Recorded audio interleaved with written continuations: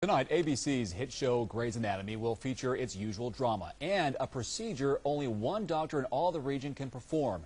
The surgery treats cancer patients with heated chemotherapy.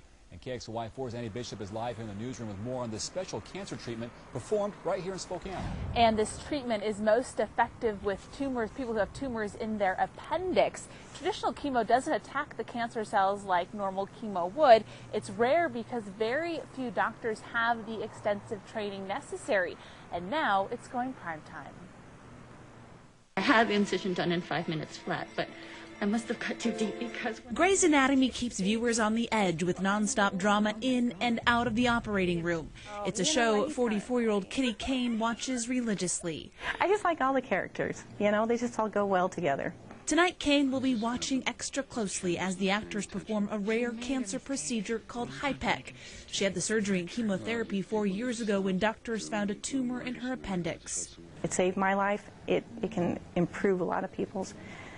And um, we have someone here right in Spokane that, that is doing it, and you know, it's, it's amazing. Her appendix was taken out, but with this cancer, it just wasn't enough.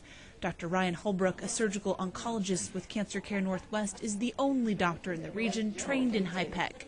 During the seven and a half hour surgery, Dr. Holbrook removed the tumor from other organs it touched and then pumped heated chemotherapy through her body. And the heat is important. The heat will kill cancer cells, um, but it also then helps to, in a sense, open the pores of the tissue so that the chemo will penetrate a little bit further. Before HIPEC, patients with appendix tumors didn't have many options because it was so difficult to get traditional chemo to the abdominal cavity. We can have a long-term cure rate of anywhere from 75 to 90 percent versus before it wasn't very good at all. And while Dr. Holbrook typically stays away from medical drama on TV, he'll try to watch tonight, see if McDreamy gets it right. So I think it's great. I mean, people need to know what their options are, that there is hope for people who don't have other options oftentimes.